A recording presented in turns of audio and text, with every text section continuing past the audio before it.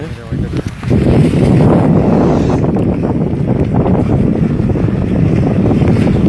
El humo derivado de las llamas que consumen el basurero ha causado ya alerta en la población de Los Reyes, misma que en redes sociales ha denunciado en otras ocasiones la problemática de la calidad del aire del municipio. De acuerdo a reportes de protección civil, la conflagración fue reportada al filo de las 13 horas de este lunes, por lo que unidades de bomberos y de rescate de diversos municipios aledaños se trasladaron a la zona para intentar sofocar el fuego. Y es que tras 11 horas de lucha contra el incendio, no se ha logrado sofocarlo. Los intentos siguen, mientras que el viento no ha ayudado a dispersar el humo, el cual ha invadido las calles de los Reyes. Aunque los pobladores ya han tomado medidas para protegerse de la toxicidad del ambiente, la alarma se disparó y en redes sociales se está solicitando la presencia de una brigada de salud para atender a la población que resulta intoxicada. En gráficas hechas llegar a Cuadratín se puede apreciar al caer la noche una densa capa de invadir las rúas de dicha municipalidad. Cabe mencionar que durante la madrugada continuaron los esfuerzos por lograr apagar el fuego. Sin embargo, de continuar, se redoblarán las acciones durante este miércoles. Agencia Cuadratín.